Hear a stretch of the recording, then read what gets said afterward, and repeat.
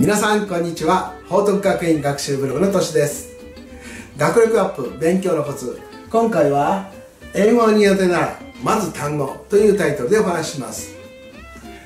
英語の肝一番大切な部分。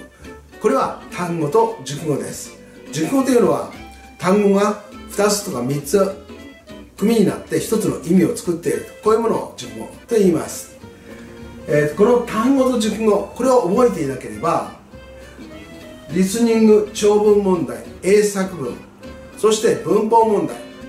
どの問題も解くことはできません。ですから英語が苦手という人は実は単語の部分がねしっかり覚えていない。こんな風に思っています。だからまず単語と熟語の部分しっかり覚えちゃいましょう。どんな風に勉強すればいいか。中学生なら教科書に出てくる単語そして熟語の部分を発音と意味を合わせて覚えていきます。英語が読めてすぐ意味も理解すると。すぐですね。そうなるまで練習してください。次には教科書の本文をスラスラ読めるようにすると。その時英語の主語と動詞の部分これを意識して読むと読んだ順に英文の意味を取りやすくなります。理解できるようになります。さらに意味のまとまりごとにスラッシュこの斜めの線ですね。これを引いて読むと帰り読みこれをしなくなります。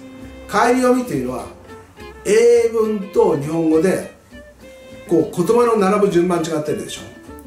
ついつい英文を読むんだけれど日本語の順番でこっちへ行ったのにもう一回戻って読むこういう人いるんですね。